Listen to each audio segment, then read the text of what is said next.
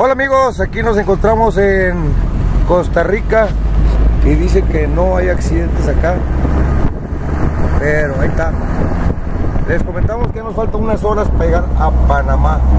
Aquí con mi amigo el Poncho, Poncho el Lucero que viene contento que ya vamos a embarcar el barco de Panamá. ¿Para dónde? A Buenaventura, Colombia. Colombia, niños.